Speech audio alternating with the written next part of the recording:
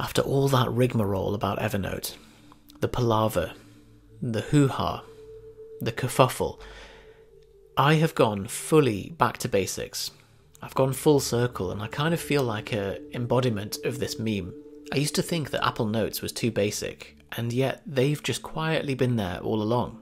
And it reminds me of something a girl once told me where I'm pretty sure she was talking about note taking apps, which is it's not the tool, it's how you use it. So while I've given Evernote a chance, I've just seen them continue their kamikaze mission to bickrappen their product and alienate their customers. We really value and appreciate your suggestions. They are so important to us. The new Evernote. Oh, wow! Ooh! While a lot of people on the Evernote forums and Reddit are continuing to use the legacy version, it's running a risk because one day you could have an operating system upgrade and that's it, your notes are inaccessible. Instead, we need to look at the trajectory of the company, and as far as I'm concerned, that's a ship that we need to jump off as soon as possible. I've never seen anything like it with software. A company that was the industry leader, and they've managed to go from that to unusable overnight. So, with using Evernote, the combination of the nagware and poor trajectory and the massive lag in being able to access your notes just makes it no longer fit for purpose. And lag is not a quality that you can have in a second brain. If you take a second look at Apple Notes, you'll see that it's more stable and more speedy than a lot of its competitors. And while it's going to be less feature rich than them, that's kind of by design. It's in Apple's interest to move more slowly because they have to maintain some semblance of competition since they own the marketplace. They make more from owning the App Store and the commissions from developers than they would from making iCal and reminders and Apple Notes into the most feature rich versions that they could be. They've got a couple of trillion in the bank, but it's not really in their interest to do so. The only key things that you would need in a second brain are the ability to remember, to think, and to write. And the supporting functions of that would be capture, storage and retrieval, zero friction navigation, and a structure for your notes. And Apple Notes does this in a no frills and frictionless way, and really frictionlessness, frictionlessness is the key. I used to be a features man, I would love all the bells and whistles, and I'd wait for latest app updates to have like this new cool feature. But now, if you've seen my productivity series, you'll know that a two second delay that you encounter repeatedly can be enough to fully derail your focus for the day, and that can be really costly.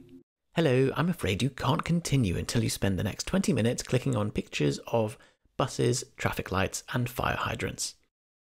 Oh, no, you missed one. There's one behind the bush. This is why having a Mac and using Alfred are so essential because they minimize any of those micro delays and keep you on target. So, how has Apple Notes fared with the migration? Well, using Evernote Legacy, it was really easy to migrate things over. I've got about 5,000 notes in there and it's handling them absolutely seamlessly, there's no delays. Plus, you get all the features of scanning, continuity, Apple support, and everything else all in one place.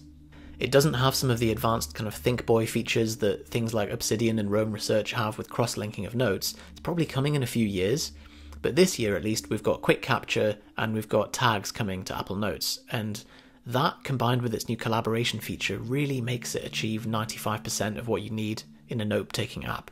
And this is kind of the problem with note apps that each offering in the marketplace does certain things really well, but none of them have the complete stack. At some point, we will reach the great note taking app singularity where you have the ultimate note app and mind mapping and thinking tool that has task management and calendar and everything all in one. But until then, what better place to carefully put your delicate eggs than in the basket of Apple? They're not going away anytime soon. There are some big features that Apple Notes doesn't have, and if you are fully reliant on these features, then you maybe need to look at some alternatives, which I can cover in a second. But the main one is the tools for idea cross pollination, IdeaSex. And that's where tools like Obsidian and RemNote and things work really well because they allow you to nest your information and cross link things and use ideas almost like post it notes on a table. On a similar note, things like note linking, mapping, advanced tags, spatial compression, and this kind of emergent structure that comes out from lots of note taking and writing is not something that Apple Notes can offer you or if you need Notion style organization with Kanban boards and tables and things, then that's more suited to a kind of collaborative workspace type app. For me, I'm happy to sacrifice all of that for speed and frictionlessness, and Apple Notes handles everything that you can throw at it. So your decision criteria really relies on are there any of those features that are so essential that you need to pick something that suits that best? And if so, pick the app that is strongest at it. And if you're not sure, I'm going to be recording a full series about this very soon. So we have quick capture and sync, which is the quick note and continuity. And then to be able to retrieve things quickly, luckily, someone has come along and made an Alfred workflow to quickly search for your notes. Once you've got that in place, you are absolutely sorted. You can reach into your brain at any point and pull out whatever you need in about three keystrokes. So there's my experience and move into Apple Notes. A couple of things to be aware of is that you want to have as few tools as possible. You don't really want to be switching between multiple apps, so try and pick the one that covers most of the workflow that you'll be using.